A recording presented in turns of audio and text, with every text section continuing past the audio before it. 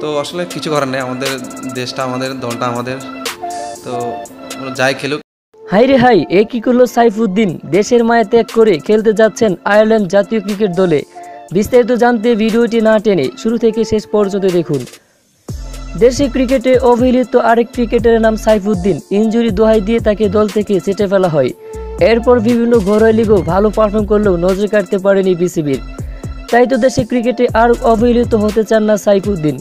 গোপন সূত্রে জানা গিয়েছে, তাকে আয়ারল্যান্ড জাতীয় দলের হয়ে খেলার প্রস্তাব দিয়েছে আয়ারল্যান্ড ক্রিকেট বোর্ড। কিন্তু এই বিষয়ে এখনও সাইফুদ্দিন সঠিক সিদ্ধান্ত নেয়নি। তো দর্শক, তবে কি সাইফুদ্দিন এখন কি আয়ারল্যান্ড যোগ দেওয়া উচিত দেশে ক্রিকেটে আর অবহেলিত না হয়ে, তা অবশ্যই কমেন্ট করে জানিয়ে দিন আমাদের কমেন্ট বক্সে ধন্যবাদ।